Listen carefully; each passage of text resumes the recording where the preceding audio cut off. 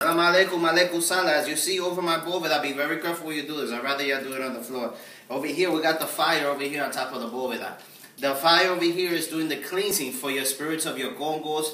And remember, like every spirit has his own his own element. So when you're cleaning yourself with the fire, you will pass your hand over it, right? You grab, and you're gonna do this movement from here, back here.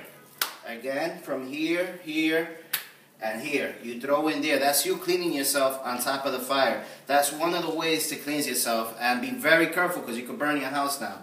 So you just grab energy from fire, clean yourself from the energy of fire, and then you're throwing it back in the fire. Come and bring it back purity, clean yourself, and come back in. That's how you clean yourself with the fire. Just one simple way.